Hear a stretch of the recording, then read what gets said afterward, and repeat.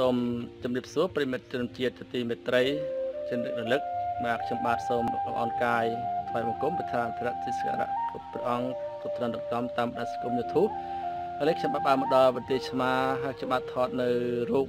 បាទពីរូបរបស់ព្រះបាទជ័យបរមទី7និងបុត្ររបស់ព្រះអង្គសន្តិកុមារហើយសម្លេចដាក់សម្គាល់លើរូបរបស់ព្រះអង្គគឺខាងលើនេះគឺមានពោធិសត្វអវលោកេសទេសវរៈលោកេសោបាទបងប្អូនឃើញហើយ បាទនៅក្នុងភ្នំសក់ហ្នឹងគឺលោកទេសវរៈនៅខាងក្រោយនេះគឺតំណាង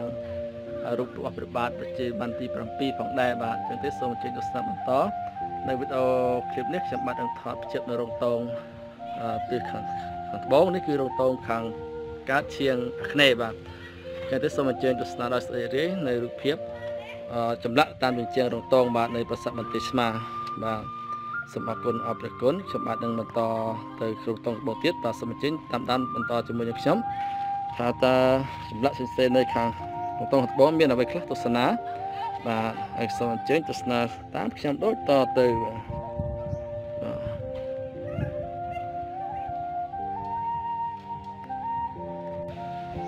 បាទសូមជម្រាបថានេះគឺរោងតងខាងកើតឈៀងអាគ្នេយ៍បាទប្រាសាទបន្ទាយឆ្មាត្រូវបានកសាងនៅក្នុងរាជបព្វបាទជ័យបន្ទី7ឧទ្ទិសថ្វាយពុទ្ធសាសនាមហាយាននៅទិសចំពោះរាជបុត្រព្រះអង្គសន្តិកុមារនិងមេត្តា4នេះដែលមានឈ្មោះថាសញ្ជកៈអជាណវធនៈនិងសេដ្ឋរៈបាទដែលមេត្តាបានជួយការពារបាទក្នុងការដើម្បីរបស់ស្ដេចត្រីអបរាជត្រីភួទស្សៈដែលបានដំណើររាជបត្តិសោបាទទាំងទេប្រាសាទ បន្តិចស្មាននេះគឺព្រះអង្គបានកសាងឧទ្ទិសចំពោះរាជបុត្រព្រះអង្គដូចខ្ញុំបានរៀបរាប់ចឹងខាងដើមមកវិញបាទសូមអញ្ជើញទស្សនាបន្តបាទសូមអញ្ជើញទស្សនាបន្តនៅរោងតងខាងត្បូងមួយចំនួនត្រូវបានបាក់បែកដោយកត្តាធម្មជាតិផងនិងការបោះបង់ចោលផងដោយការផ្លាស់ប្ដូរសាសនាបាទចឹងទេបាទសូមអញ្ជើញទស្សនានៅរូបភាពខ្ញុំបានអន្តរបន្តទៅជិតជួយបងប្អូនបាទ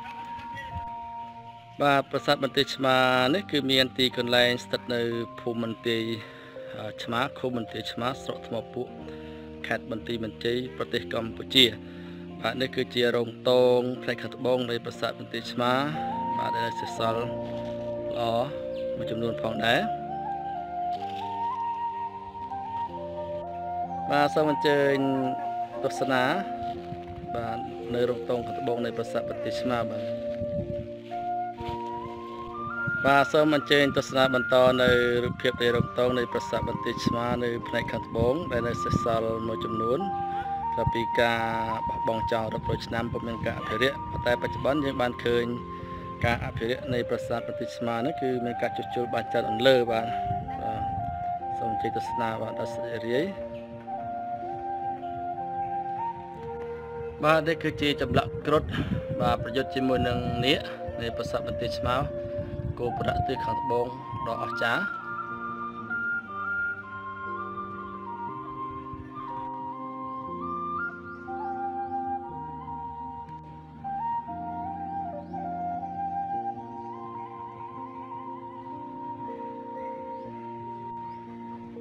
បាទគាត់នៅឯប្រាសាទបន្ទាយឆ្មាគោប្រាក់ទិសខាងត្បូងមកនេះ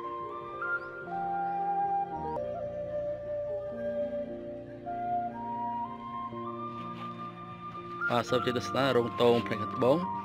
នៃប្រាសាទបន្ទាយឆ្មា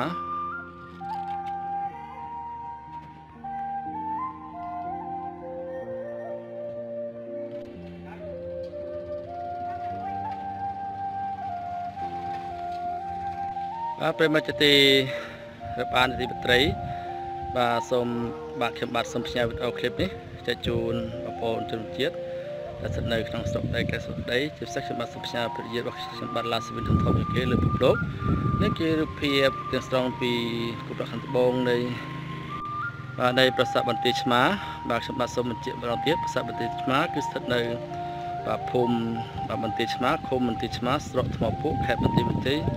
ប្រទេសកម្ពុជា បាទនេះគឺជារូបភាពខ្ញុំបាទផ្ទាប់ផ្ទាល់នៅប្រាសាទនេះតែម្ដងបាទខ្ញុំបាទសង្ឃឹមជាយៈមកមកទឹកអំពីពេញមិត្តបាទទស្សនានៅ បាទប្រាសាទប្រតិឆ្មាហើយសូមមេត្តាជួយសេដ្ឋកិច្ចពិធុខ្ញុំបាទបាទឈ្មោះមុតលោកខ្មែរកូននៅកម្ពុជារ៉ាប់ផងដែរដើម្បីបានទទួលនៅវីដេអូថ្មីនៅពេលថ្មីបាទខ្ញុំបាទសូមអរគុណទាំងអរព្រគុណនៃការតាមដានវីដេអូរបស់ខ្ញុំបាទពីដើមរហូតដល់ចប់បាទសង្ឃឹមយ៉ាងមុតមមនៃការទស្សនាតាមដាននៅវីដេអូឃ្លីបខ្ញុំបាទមកថតផ្ទាល់នៅទីនេះបាទ